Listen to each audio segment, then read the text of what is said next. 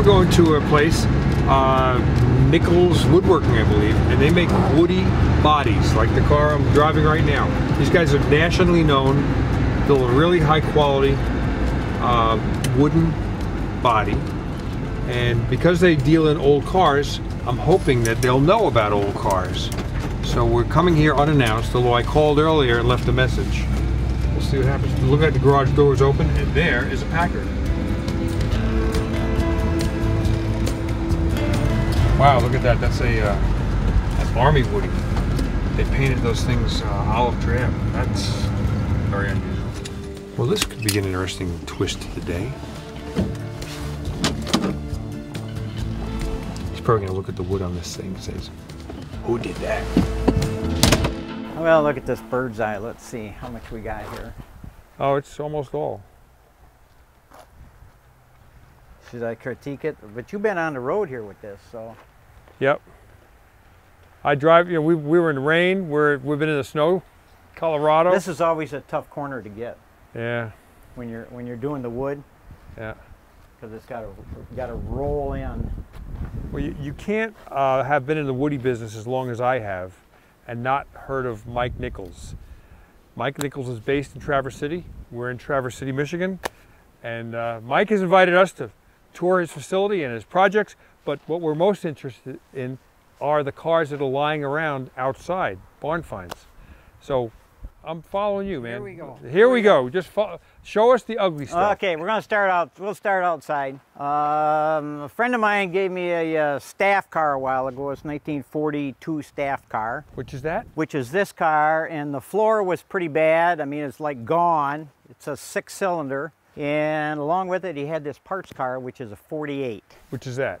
So what I have to do is take the military stuff and the 42 stuff off of this, which is the firewall and the trunk box in the back, and put that on this car. And I haven't. So this is unusual, and you, think of an old Ford having a, a flathead V8. This was This is six-cylinder. All the all yeah. the uh, military stuff had a six. no kidding, huh? They made like 2,300 of these. You know, I mean that's got to be a rare power plant right there. You know, you, I've been in the business my whole life, and I, yeah, it it is. I I don't know where else they used it in trucks or something. probably but, trucks, yeah. But uh, all the service stuff had this military six cylinder in it. so this originally was in this metallic blue. I remember seeing that, Yeah, it was a blue. and look, look at the original paint. I mean, the crayon marks are still on the firewall. this is a curious car, and you know, it's a car, a 48 Ford, that if you saw it like this, okay, you wouldn't pay much attention to it. But just think, it's a 1948, which means it's 71 years old. And, and the original paint on this car was metallic blue. Now, for Ford to have metallic color, it's kind of unusual. The Ford didn't do a lot of metallic colors, but this is the original paint on the firewall, and look at it. You could shine this up. And these crayon marks, here, here, and here, those were put on by a Ford factory worker 71 years ago. So this car was all metallic blue. You can see it here. I guess it was painted light gray or something in the meantime, but you can see it here. And look at it, it's even on the floor. The floors are amazingly solid. They have surface rust, but they're solid floors. Again, for a 71 year old car, it's amazing. So this metallic paint is still shining on the floors, which usually floors are just rotted away. There's nothing left. So he's going to take this car, which is Ford Motor Company, right before the war and right after the war were basically the same cars. So this one being a 48, same as 46, 47, that's a 42. So he's taking all the military hardware off this and putting it on here. Uh, there's a couple of small differences with uh, reinforcing lines on the firewall. He's going to fix that. But this will ultimately be a 42 Ford military vehicle because the body on this one is, is so far gone. But this, I mean, really, I'd, I'd be surprised if a 25 year old car would be as sound as this one. This is almost three times as old as that. Just, uh, it, it's, a, it, it's interesting because this was a, uh, a northern car and this was a southern car. So if you live in the north and you're surrounded by cars like this, get in your car and drive south and bring home a car like this. and you'll have good bones that you'll be working with for the rest of your project. Oh, you'll love this one. You'll love this. So this is called a buyback car. It's called a buyback car, and uh, they came along when um, when the war broke out. All this stuff was just grabbed up by the service, so they said you can't build any more cars. Everything you have in stock is is going to be ours if we need it. I can tell this is a buyback car because the inside of the hood and the firewall are a gray, which was a standard Packard color. Yep. I couldn't tell you what the name was, but uh, they just shut the hood and painted everything OD and said it's a staff car. Is that right? And so where did this car come from? Same place I got the other ones. Down in Bath, Michigan. Are these are these low mileage cars or something? They're kind of low mileage cars. You might not want to go in there, Is that Mr. right? Cotter. Really? yeah, that's a little nasty in here. Oh, I was just gonna look at the mileage to see how many miles are on it. 99,641 miles. Hmm. So you see the original gray in the door jamb here, but then the green out here. And this is a 42 Packard. 42 Packard. Yeah. Hmm. So you have that for what reason? Like you could take part to have military parts on it? No, I, I don't know what yard art. Got it. yard art today. Okay. Then there's another little toy in here. Aha. Oh, look at this. A wood. Wow. This- Was this at Hershey? I took it to Hershey. Yeah. Uh, I was trying to get 29. I'd take about 25 for it now, but all the wood's done on it. All wood. Um, Mechanically, it's all there. it's got an engine. It's got. Uh, it's all here. The wood's been just sealed on the outside to make a really nice rat ride for somebody. In other words, the wood's all new, but nothing else has been touched. Right. Mhm. Right. And it was a Texas car.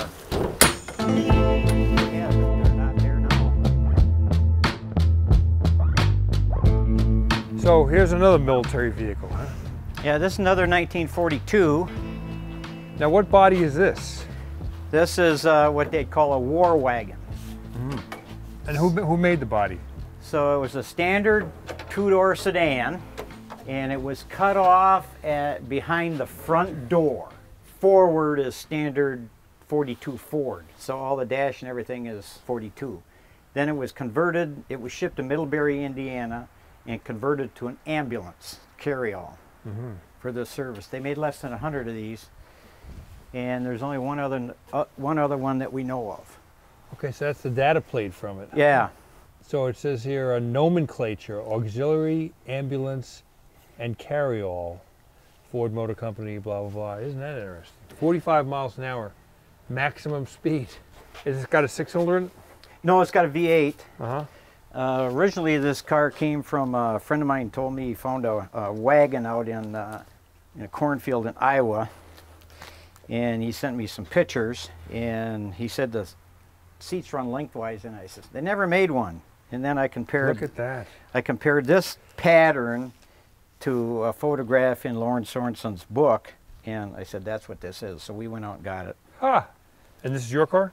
Yeah, Wow. they stretched the frame 22 inches Where? Between- back here. So behind there, so the wheelbase is standard. standard. They stretched Yeah. the frame on the back end 22 inches. The fenders are, they, they source them out somehow? Well, they came with this pile of junk I got at one time. uh-huh. So it's interesting. It's got just passenger car inner door panels. Yeah.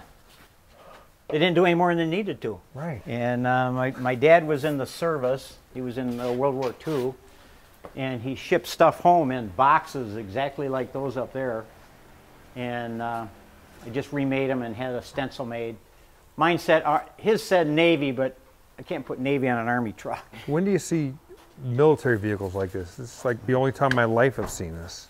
You don't. And originally it had a, it, it, it had, see it was blue, car was blue, and it had these numbers under the hood right here, all hand painted. We put those right back in there. As a 42, boy. So you brought this to shows and things? Yeah, yeah, I take it to shows. I'm surprised like a movie company hasn't gotten in touch with you. took it to a national military convention down in Cleveland Hmm. a couple years ago. So this is standard Woody here? Yeah, this is a standard Woody, came out of Texas. Mm-hmm. Is that a customer car? No, it's mine. I just got to figure out when I'm going to have time to do it. And a Plymouth Woody, is that a customer car? No, that's another one of mine. Uh-huh. Um, So Plymouths, were they oak bodies? no, they're all white ash. White ash. Okay. Yeah. So you're not all Ford woodies. You'll do any kind of woody. Oh yeah, I've done some real custom stuff, parts and pieces.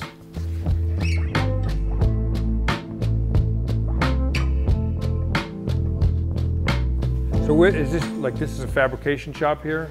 Yeah, I kind of use this room for my welding because it's isolated from the woodwork. Mm-hmm. And this is going to be another 42. For me, I've been working on. Well, I had I had one almost I had one almost all done, but somebody offered me so much money, I said I can build another one. That's the way it went.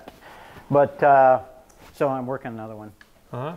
This is the floor pan and wood part, and this is going to be the the chassis and the front clip. Oh, okay. So these are one unit. These two will go together yep. as one. Okay. And here's looks like a finished car. Is that uh, Washington blue, Uh, Jefferson blue, one or the other? not- yeah, it's a blue. I can't remember the name. Strata. It's Strata blue. Strata blue, really? It's a 48 color. All right. So this is what ugly woodies become when you send it up here. My goodness, is that pretty? So did did you restore the body and everything, or just the wood? we did everything on this car. everything. Wow. Uh, belongs to a fellow named uh, Scott Reed who li- lives in Busselton, uh, Australia. So uh, my wife and I, he well, he bought it at uh, Springfield, Missouri, Mm-hmm. and my wife and I went out and got it. It wasn't, didn't look like this at all. But uh, so Scott bought it out there. My wife and I went out there and picked it up, and then we started doing it, putting it Man. together. Beautiful. And all the wood's new. You fabricated all this wood. All new wood. Man. Now, Iron Mountain, that's where the Woody Ford Woody bodies are built, right? Yeah, that was way up north. And I mean, do you ever get lumber out of there? Well, yeah, there was a story. I was doing a car for Mr. Dingman at one time, and um, I called a place in New Hampshire. I says I need 200 and some feet of bird's eye. That's Oh. where my bird's eye body comes from, New Hampshire. Yeah, so I says, uh, well, get me some. Well, I waited and waited and waited and waited. I said, I can do better than this. So I got on the phone, and there's a place up in Ishpeming that had two inch. Is that in this country? Oh yeah, yeah. it's right next to that great university up there. Okay. Anyway, um, so I went up there and got 200 feet, and there's another pile sitting there. I says, I like that stuff too. It was old bird's eye? Yeah.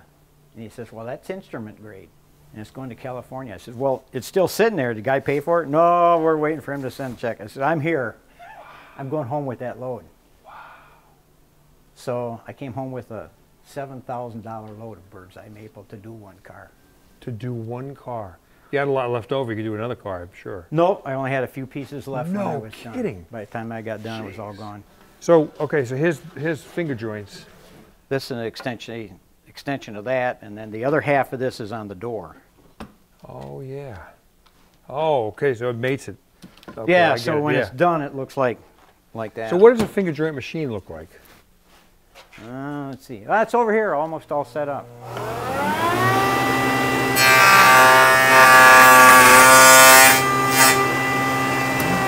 How do you match, now what's the next step to match those? Or it's the same thing? No, you can't run the same piece and have them go together. They'll be offset. Right. So you have to readjust that. So you, you go like up and down, a quarter yeah, minute, up and down. minute. See, we're we're uh, we're right. That's where it was cut. The Yep. next one's going to be right there. Got it.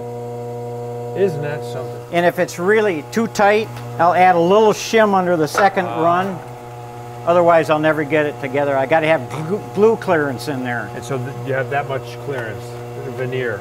Yeah, so it makes one set of teeth just a little bit narrower. So you cut the curve pieces and then finger joint them? Or do you finger joint them and then cut them into curves? It'll be two blocks together on an angle.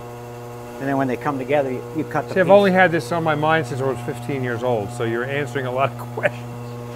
Ah, look so at that. we had we had that line, and this one was over, probably over there. So you, you're finger jointing blocks and then form it into the piece. Got it. So this, this has been your career, Yeah. your lifelong career. Isn't that amazing? so how many woodies have you built, you figure? Uh, most of them are on this wall back here. Uh, we're up to 100 and something. Oh, look at that. Uh, Where's number one? I don't know. Was- I probably started here and went that way and then went back up. Uh, we got 29s, we got Sportsmans, we got 37s, we got 37 Packard. Um, Jeez. 42 Army wagon up there. Uh, here's 338s here in a row we did. Here's a couple 50s. Uh, you probably know Dick LaHaye. Oh yeah. We did, we did his car a long time ago. Uh, some 47s, some 46s, some 34s. It's, And you had other parts cars out the back door here. oh yeah, yeah, we got junk all over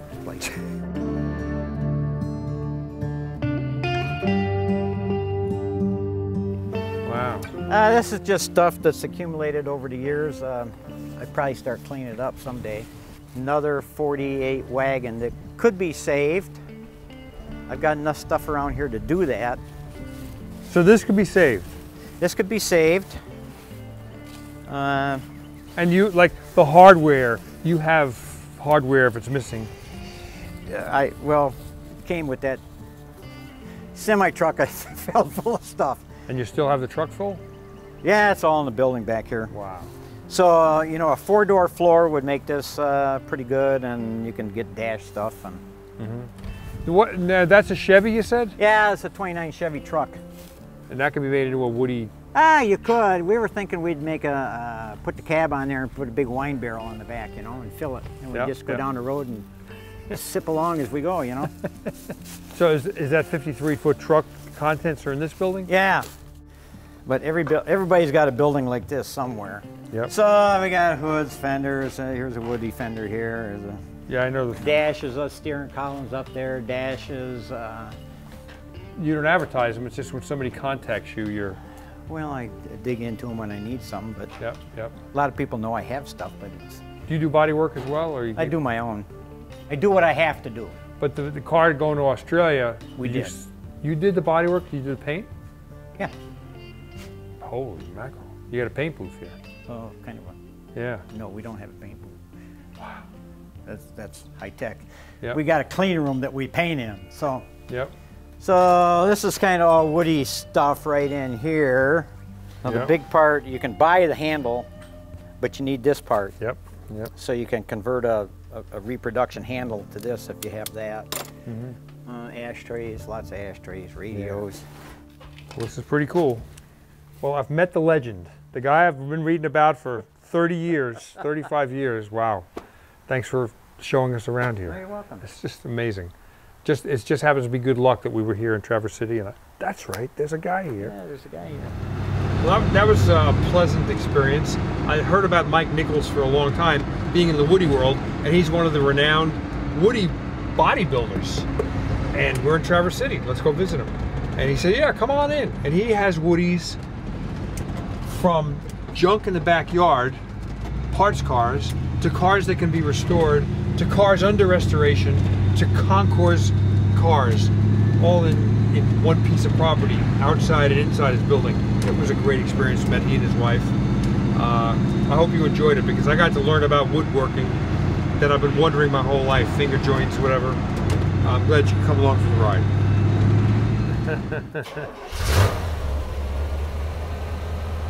that ain't no six cylinder. What nice work, man. So we put a we put a three 350 Chevy engine in this one with a. Can you uh, pop the hood? Is that possible? Uh, yeah. Nice work, man. And that's just a crate motor, just a stock. Yeah, it's stock 350. Yep.